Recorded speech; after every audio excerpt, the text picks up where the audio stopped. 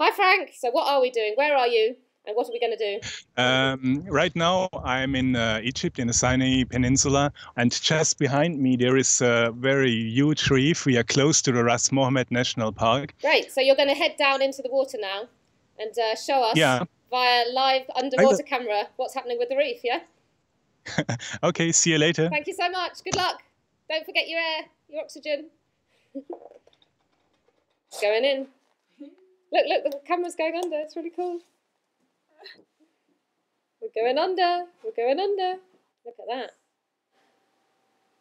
Come on, Frank. There he is. Hey. Lizzie, come and look at this. hey, Frank! You did it! Woo! This is fucking hilarious. It's, this is one of the best things we've ever done. We need to put some sound effects. I'll do the sound effects.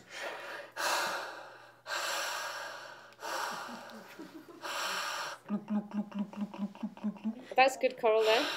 I think one third of the uh, of the global um, coral reefs are dead. Humans are so clever. Look what we can do. We can speak from Copenhagen to a coral reef underwater. And yet we can't get our act together to sort out climate change. Scientists think that more than 1.5 million creatures are living in the coral reef, but up to today we only know 10% of all the creatures, and we must pay attention that uh, before climate change takes away all the reef, we also need the coral reef because it's a breeding zone for all the fishes, and it's a very, very high spot for biodiversity. How important is the coral reef for the functioning of the ocean as a whole? So the coral reef and the ocean in general is um, um, kind of buffer for the CO2 emissions of the industry uh, nations. When more CO2 is going to the ocean, we get uh, acidification of the ocean, and a lot of creatures will die. So, can we ask uh, your friend there who's seen the reef for 27 years, what changes has he seen? there's been definitely some uh, degradation to the reef.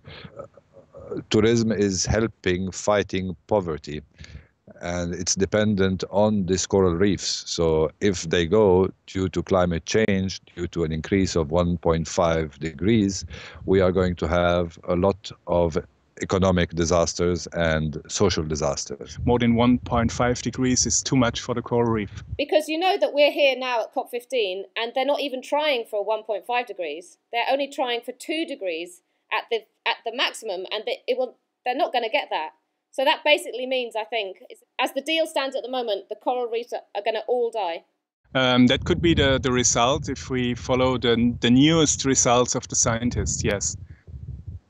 Hi, yeah, I've been working here in uh, the Red Sea for five years. Things are changing, and uh, if we don't do something about it soon, this little guy's not going to have anywhere to live. I mean, there's a fundamental conundrum here, though, which is uh, if the coral reef dies, then your business is, you know, over. The tourists won't come. But if the tourists keep coming, then they're going to kill the coral reef via the flights. So there's not there's not an easy solution, is there?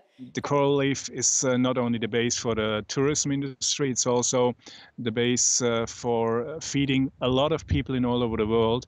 This message is especially going here from Egypt to Copenhagen to to decide to be under 2 degrees, under 1.5 degrees, that will save the reef.